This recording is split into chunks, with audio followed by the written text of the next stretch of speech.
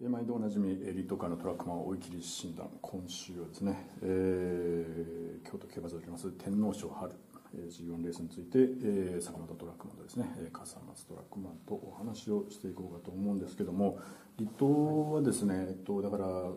う火曜の夜からね結構しっかりした雨になってですね、えー、追い切り水曜日の追い切り時間帯もずっと降り続くというような状況で。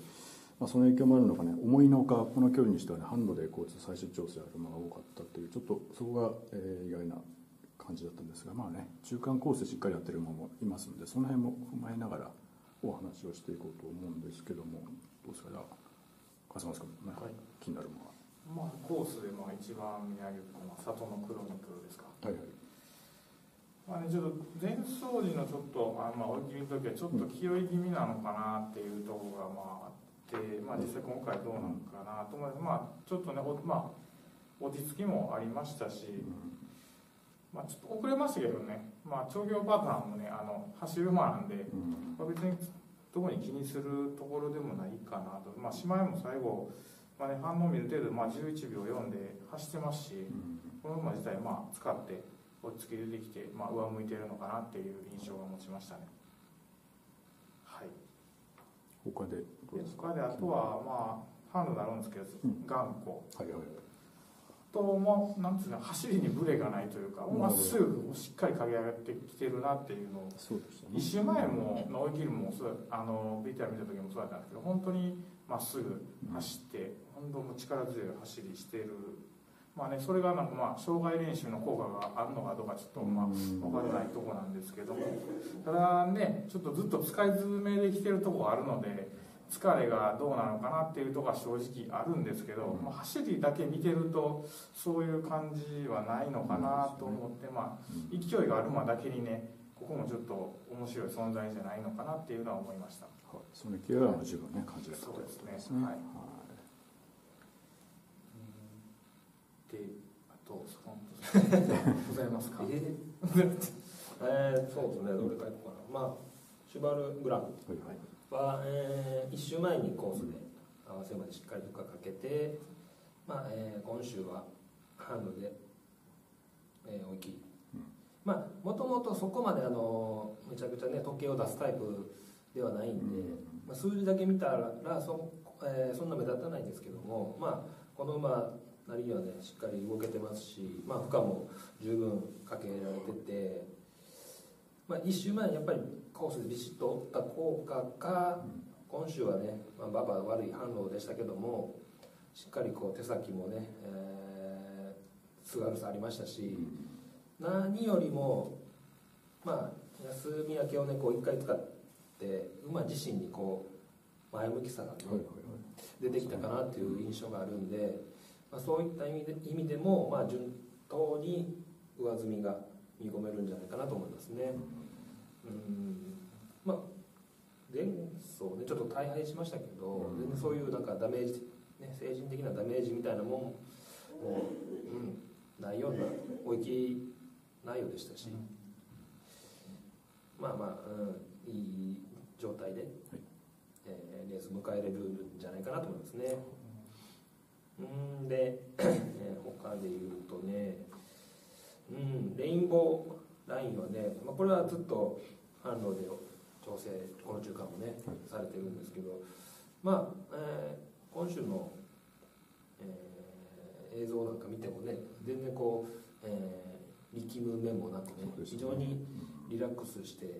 えー、調整できてましたし、まあえー、日曜日にねしっかり時計も出してるんでまあまあ、えー、なんていうんですかね高いレベルでいい状態をうまくキープできてるのかなっていう、うん、ところは感じたんで、まあ、この馬もその、うんまあ、大きい上積みっていうよりも、まあ、調子を好調をうまくこうキープできているのかなっていうところを感じました。うん他ねそうですねチェスナット工業とこれはねまあ、えー、先ほどね、えー、風間トラックマンから話しあった頑固とかに比べるとまだ、えー、動きフォームなんかもねちょっとこうばらつきがある感じで、まあ、そういった面はねまだこうまあ、若さというか、うん、本当にこの馬が本格化するのはねまだ先かなっていう、まあ、印象はあるんですけど、うん、まあ、それでもね、えー、レースでも長距離でも動けてるということは、まあ、それだけね、えー、潜在能力が高いという証明でもあるんで、まあ、この馬に関してはまだまだこう伸びしろがありそうなんで。うん。今でも今の状態でもねそんな悪いレースはしないと思うんですけど本当の狙いはもうちょっと先からという気はしないでもないです、はい、あとどうか。当選バジル、はい、まあ、えー、どうなんですかね。あの雨の影響とかもあって、えー、もしかしたら芝コースに変更だったのかなっていうところあるんですけど、まあ、結構藤原厩舎がね、えー、そういう調整パターンできますので、まあ、それは全然問題ないと思いますね。まあうん、当選バジルなんかも本当に、えー、なんていうんですかね後部とかも完成されてる感もあるし、力強いかなっていう感じを受けたんですけど、ね、そうそうそう。あの どっちかというとねすがるいっていうよりもこう力強さというかしっかりとした足取りで、うん、えー、かける馬なんで、うんうん、まあまあこの馬に関しても一回、ね、海外遠征から帰ってきてあの感覚空きましたけどね。実践使ったことで、うん、さらに反応なんかも良くなると思いますし、うん、うん、まあ G1 のね大一番とかでこうきっちり仕上げてくる厩舎なんで。今年ねすごいですね。上級者は本当ね。なんでまあまあそのレースの条件が合うかとかは別として当選バジル自体はしっかりとこう力を出し切れる、うん、えー、状態にしなかったのかなと思いますね、うん、うん、こんなとこかねそういう力どころでいうと注目してみたいのは、そうですね何ですか？言い残した馬。言い残した馬。あそうそう。クリンチャーですか？あクリンチャー言ってなかった。クリンチャー。そうね、そう。任せます。これですねまあ今週は本当まあね販路で、まあ、三浦神戸騎手と、まあ、コンタクト取る感じで、まあ、時計的にはねそう別に目立った時計ではなかったですけどまあ中間ね、まあ、先週先々週と斜めからしっかりね乗ってますしこちらも別に、まあ、うんそうですね。今年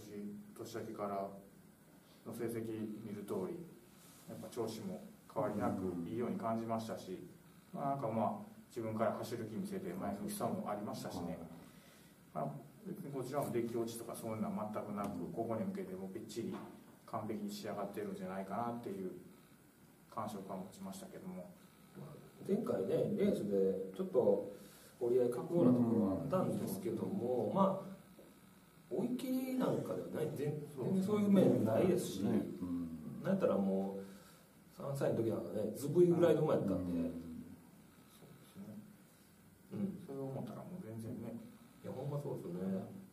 まあ状況でもそんなね気になるようなそういうないですし今回あたりはね変わってくるのかなという気がねこのまああのパワー要する側は、ね、で結果も出してますけど、ね、選手昨日のすごい重たいパワーでもねしっかりこう、はい、グイグイ走ってたんでまたその辺りは個人的にも効果を持ったわけなんですけどもまあどうですかね立東調教組ではこの辺りですかね。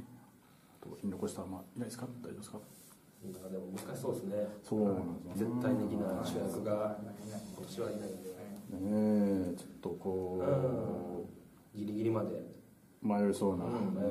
感じはしますよね。ちょっと昔の天皇賞のイメージとは違うレースが最近になってきてますけども。まあどの馬もね割とこう順調には来てるんで本当チャンスがあるのかなという感じしますのでおかげで馬券は難しいぞというね感じでちょっと悩まないといけないということでじゃあこの辺でじゃあ締めさせていただいてよろしいでしょうかあ皐月賞。当たってましたあそうですあんな難しいレースを提供されたら、えー、笠松 TM の印にもね、はい、注目して。ください。おはい。綺麗にじゃあまとまったところです。紙面にもぜひ注目してくださいということでじゃあ今回はまとめさせていただきます、はい、